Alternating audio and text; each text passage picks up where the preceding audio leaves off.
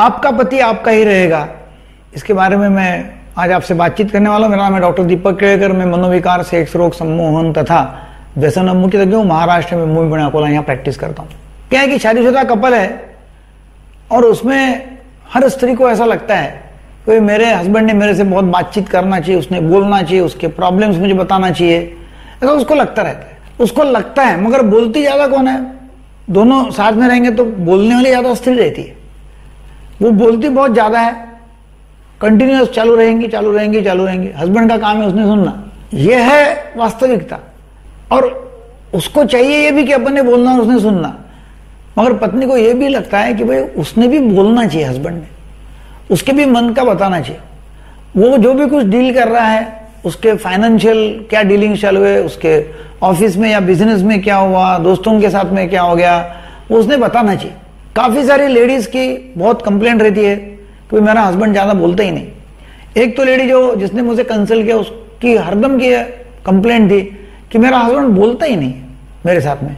और वो बाकी लोगों के साथ में बातचीत करेंगे। भाई लोग मिलेंगे तो उनके साथ में बातचीत करेंगे। मेरे साथ में नहीं बोलता है। तो मतलब भाई आप नसीबवान हो। आपके साथ में बोलते नहीं, आपकी सुन रहा है वो? हाँ उसको चाहिए वही कि अपने सुनना चाहिए, मगर उसको ये भी चाहिए कि उसने बोलना भी चाहिए। क्या होता है कि स्त्री ने यह समझ के लेना चाहिए कि हस्बैंड जो है मतलब पुरुष वर्ग कम बोलते रहते हैं। जब दोनों साथ में रहते हैं ना तो उसको बोलने का वैसा मौका भी नहीं मिलता है क्योंकि वाइफ बोलते रहती है। और समझो मौका मिला तभी भी, भी कम बोलता है। उसको लगता है कि अपने प्रॉब्लम क्यों बताना? अपने प्रॉब्लम बता के क्या फ़ायदा है? उसको क्या समझेंगे मेरे प्रॉब्लम वो तो अपने ऑफ़िस में आती नहीं है बिज़नेस में आती नहीं है बोल के फ़ायदा क्या है? इसलिए वो बोलता नहीं रहता है कुछ प्रॉब्लम्स पत्नी ने ये देखना चाहिए कि हस्बैंड समझो बोलता नहीं है वैसा उसका ज़्यादा चॉइसेस भी नहीं रहते।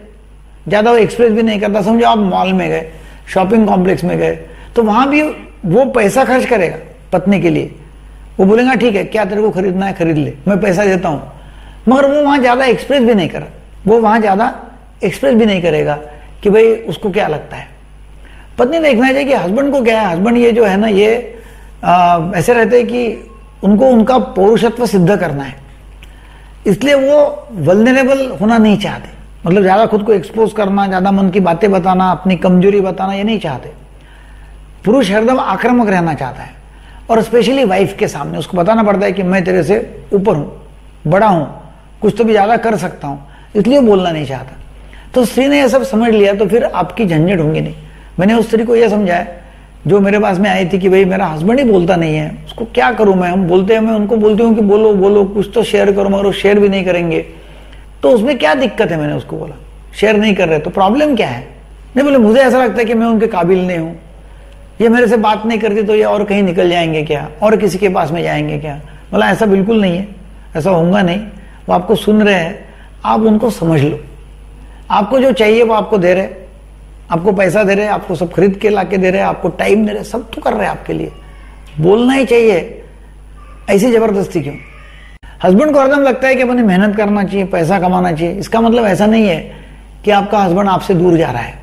इसका कुछ भी मतलब नहीं आपका काम है, पत्नी ने, स्त्री ने यह देखना है कि भाई आप एक सपोर्टिंग सिस्टम उसके लिए कैसे तैयार हो सकती है?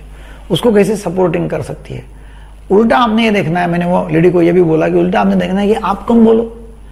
आप जब कम बोलेंगे तो वो बोलना चालू करेगा। आप भी तो बहुत ज़्यादा बोलती है, फिर उसको बोलने का टाइम ही नहीं मिलता।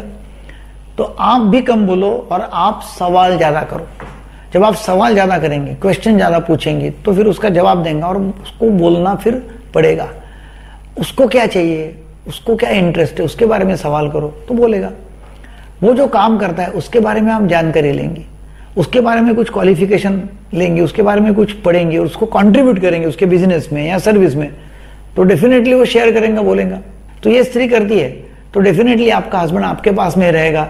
चिंता करने की बात नहीं है। ये वीडियो आपको अच्छा लगा, जो लोगों को शेयर करो। Thank you very much Google store से आप डॉक्टर केयर ये नाम का ऐप डाउनलोड कर सकते हैं। और ये ऐप में आप फ्री चैटिंग कर सकते हैं।